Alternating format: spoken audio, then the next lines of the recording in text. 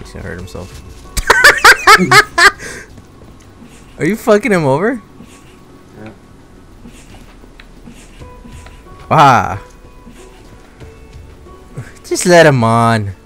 Help me, I'm pushing up the deck. Oh, yeah.